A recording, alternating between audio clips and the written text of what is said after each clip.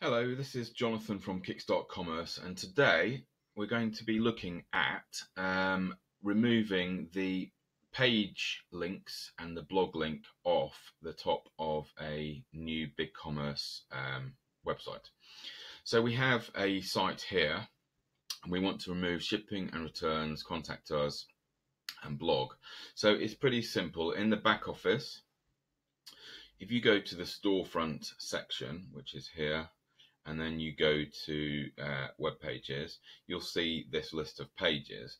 And then on here, you've got the option to untick any of these if you don't want them to be visible in the main menu.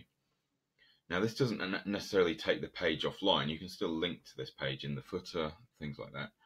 Um, but if you don't want them on the main menu, you can untick this visible um, icon. So if we now go and look refresh this, you should see that those two will disappear. Okay, so we're just left with the blog now.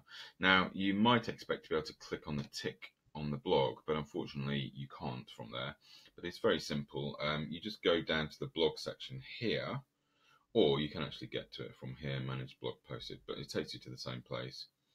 And on there, you've got a very simple switch at the top. Um, and sorry, this is loading slowly because I'm recording the screen and it's putting this video over the top. But basically, if you turn that off there, you will then very quickly find that this disappears as well. So that's it. It's as simple as that. Um, I'm just recording this to give you a very quick um, shortcut to doing that so you don't have to figure it out yourselves. All right, um, subscribe if you like these videos and uh, I'll speak to you soon. Bye for now.